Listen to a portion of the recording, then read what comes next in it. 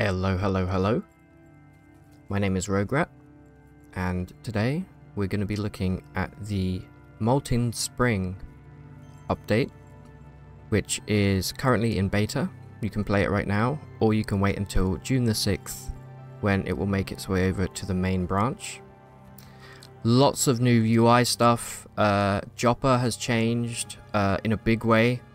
So let's uh, let's jump right in and let's take a look. I'm just going to build my last character here just to show off a few things. And then we will get right into it. We're going to start in Joppa. You can see. Brand new uh, loading screen, which is quite nice. And let's take a look here. So right off the bat, you can probably see a bunch of new tiles there's lots of new sound effects and lots of new visuals in this uh, update. Mehmet looks different. We have a brand new Warden up here, which we'll look at in a moment. You can see we have new tiles here on these uh, Brinestalk houses. We have brine Brinestalk fence, which, unfortunately, and I've tested this, it means you can no longer loot these buildings for free and expect to get away with it. You can still do this building here, just make sure you close the door. But this one and this one now have this pesky uh, fence here, which honestly I'm absolutely fine with because sometimes you could actually get some really nice loot in here and it kind of uh, kick-started the game, made it a bit too easy. Over here, Argive has a brand new uh, sprite as well as all of these cool little gizmos and machines in his workshop, which I, I think really adds a lot and sells him as the, the village tinkerer.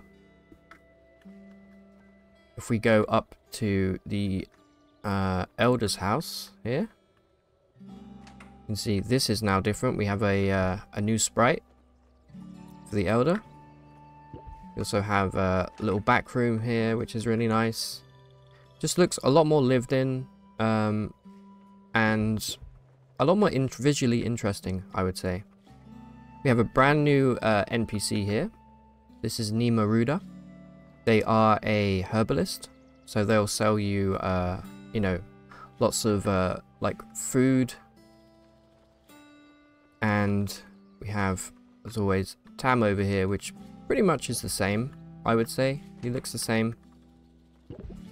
But I think the, the main thing with this update is the UI overhaul. So let's start by looking at the equipment screen.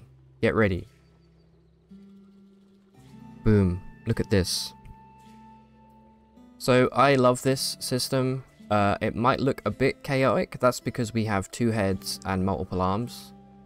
Um, but basically, you have this central body square here. And then everything that comes off the body will be listed as such with these lines. So we have our left head and our right head.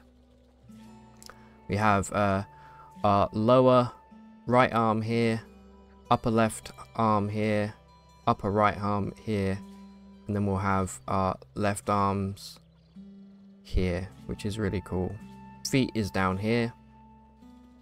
I think this is such a cool system. Uh, it probably will get quite hectic if you're um, running a Chimera build with a ton of limbs, but we'll see.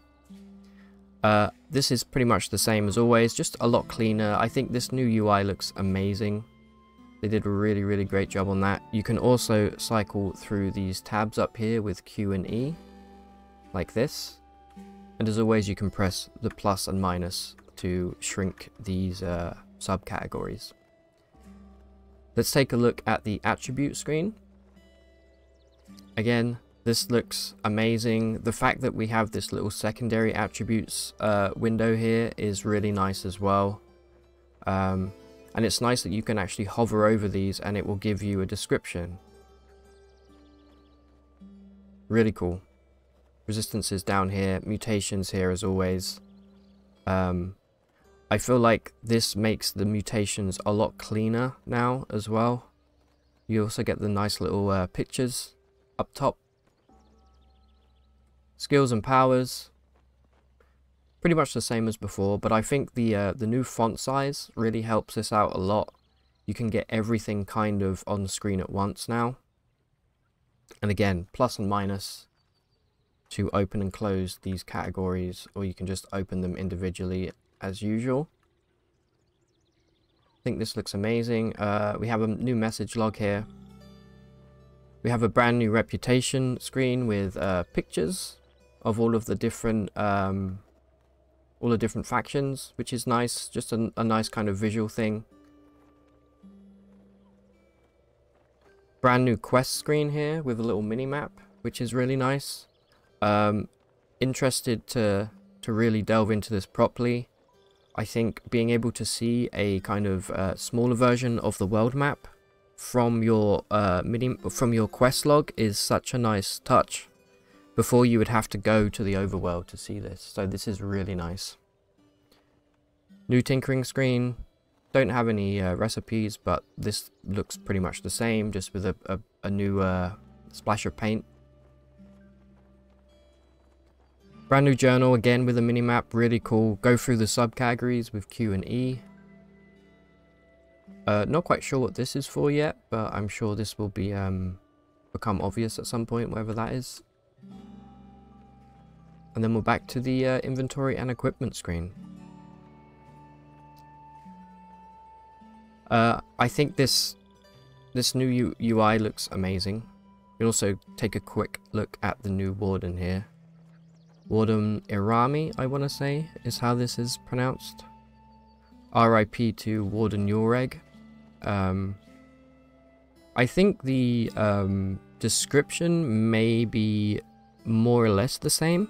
Not quite sure why we have a new warden here, but hey, there you go.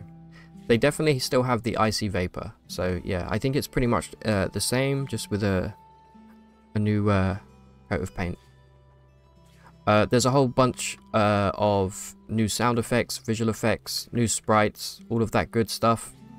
Um, there's a new system, I think now, by if we attack uh, an NPC and then we run away a few screens, they'll no longer forgive us instantly. I think it takes time now for them to forgive us, which is... Oh, that was a new sound effect. Which is a new uh, quality of life thing. I think it makes the game just a little bit more... A less, less cheesy, less cheesable, you know? Obviously, we always have to pet Stesiphus here. And that's pretty much all of the changes for Joppa and the UI. There's a whole bunch of there's um there's a rework of the Naphtaali tribe. Um and a few other things which I seem to have forgotten. But uh, with that said, uh, once the uh, this update makes it to the main branch, we're going to start a new playthrough and explore everything hopefully together, see what new stuff has been added. And until then, enjoy Caves of Qud. Remember you can play this right now in the beta branch, which you can join on Steam, or I think it uh, hits the main branch on the 6th of June. Thank you very much for watching, and I'll see you next time.